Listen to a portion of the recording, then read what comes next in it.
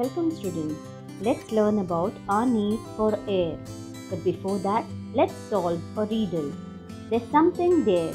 It is to be found up and down and all around. You can't touch it, you can't see it, but sure as sure you can name it. It's air. Let's try this. Blow a balloon. What did you fill into it? Of course, air. There is air all around us. Though we can feel it, we cannot see it. Air does not have color, smell, or taste. Let's learn some new terms.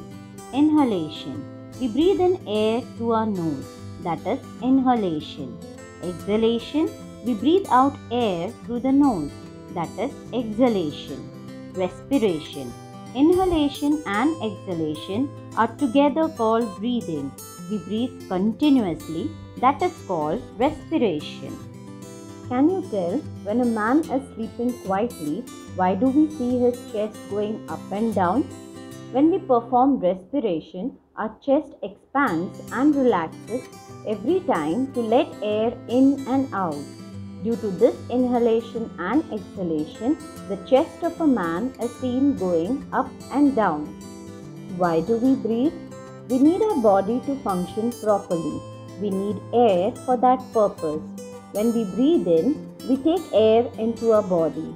Air makes us feel fresh and lively.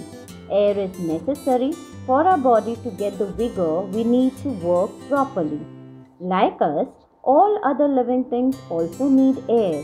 If we look carefully, we can see a dog's and a cat's chest also going up and down. It tells us that animals also breathe. Do you know Fish live in water. It makes one wonder how they get the air to breathe. But fish are able to use the air that is dissolved in water. Some people keep fish in a glass fish tank. It is called an aquarium. It is always full of water. The fish in the aquarium use the air dissolved in the water for breathing. As a result, the amount of air dissolved in the water can get reduced. If all the air was used up, the fish would die. Therefore, more air is continuously added to the water in the aquarium. That is why we see air bubbles rising up through the water in such fish tanks. Let's try this. Take a glass more than half full of clean water. Take a small piece of a newspaper sheet. Roll it to make a straw about 10 cm long Dip one end of the straw into the water. Through the other end, blow into it with your mouth. What do you see? Bubbles rise up in the water. What does this tell us? You blew air into the water. This air rose up and escaped in the form of bubbles.